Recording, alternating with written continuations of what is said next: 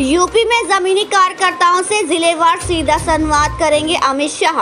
गोरखपुर में आज सीएम योगी कंपैक्टर गाड़ियों को हरी झंडी दिखाकर करेंगे रवाना, वैक्सीनेशन का भी लेंगे जायजा। यूपी में टीटी पास 21 लाख अभ्यर्थियों के हित में योगी सरकार का बड़ा आदेश, प्रमाण पत्र अब आजीवन मान्य। आधुनिक होगी देश की इकतालीस आयुध फैक्ट्रियाँ, केंद्र ने दी सात कंपनियों में बदलने को मंजूरी। कांग्रेस ने कहा, संक्रमण के चलते राहुल गांधी नहीं लगवा पाए हैं टीका। सोनिया गांधी ले चुकी हैं दोनों खुराक। पीएसी बैठक में कोरोना टीकाकरण पर अधीर की एनडीए सांसदों से तीखी बहस।